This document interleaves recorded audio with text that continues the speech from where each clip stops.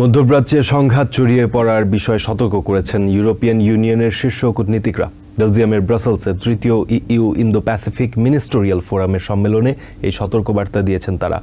EU এর foreign policy chief Josep Borrell বলেছেন, মধ্যপ্রাচ্যের পরিস্থিতি খুবই গুরুতর ও ঝুঁকিপূর্ণ হয়ে উঠেছে। সংঘাত বন্ধে কূটনৈতিক প্রচেষ্টা এবং আলোচনাকে একমাত্র উপায় বলে মনে করছেন বেলজিয়ামের পররাষ্ট্রমন্ত্রী হাদজাল হাবিব।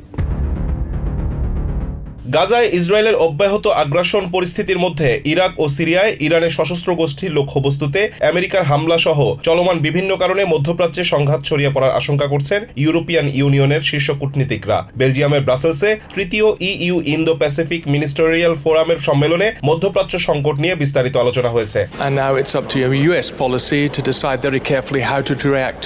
সম্মেলনে ইইউ নেতারা সতর্ক করে বলেন আলোচনার মাধ্যমে সংকট সমাধানের পথে না গেলে মধ্যপ্রাচ্য জুড়ে সংঘাত ছড়িয়ে পড়ার সম্ভাবনা রয়েছে চলমান পরিস্থিতিকে খুবই গুরুতর বলে শঙ্কা জানানো হয়েছে ব্রাসেলস সম্মেলনে We are living a, a critical situation in the Middle East on the whole region. European ইউনিয়নের foreign policy chief Josep Borrell বলছেন গাজায় চলমান যুদ্ধ পরিস্থিতি বন্ধের কোনো সম্ভাবনা দেখা না দেয় উত্তেজনা ছড়িয়ে পড়ার শঙ্কা রয়েছে.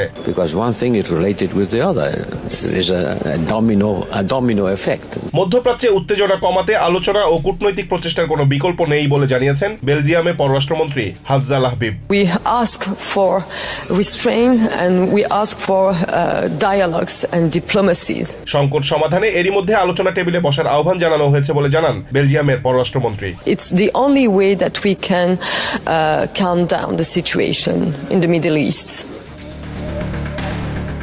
Rizwan Kader TVN twenty four news desk